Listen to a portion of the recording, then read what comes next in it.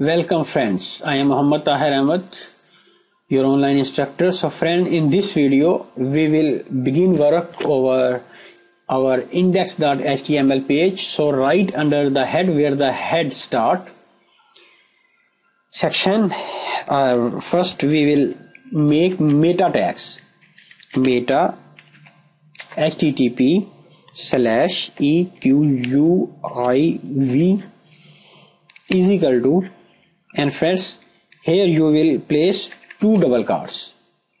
Two double cards and inside these two double cards you will write content slash type.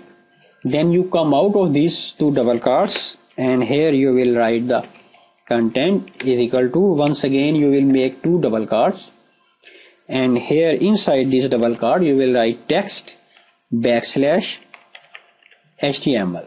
You come out these double cards not here inside and you will place a semicolon here. Semicolon and then make a space and then you will write char set is equal to utf slash 8 and now you come out of these double cards and you will close this meta tag and control s to save so friend I press enter and make second meta tag which is for responsiveness to tell the browsers name meta space name is equal to double cards. And inside these double cards you will write viewport.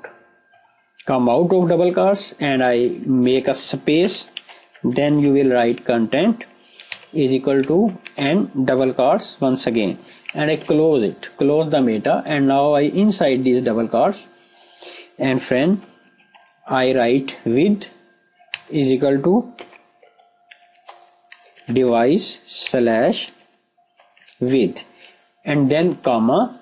And then space. And now here I will write maximum dash scale is equal to 1.0 in the same way friend you will place a comma space and then you will write minimum dash scale is equal to 1.0 comma and space. And in the end you will write initial dash scale is equal to 1.0 and friend these are two meta tags which I have written in this video and these two are very very important to tell the browsers about the specific width and height of your website so friend in next video I will come back and I will link all these four style sheets which I made in previous video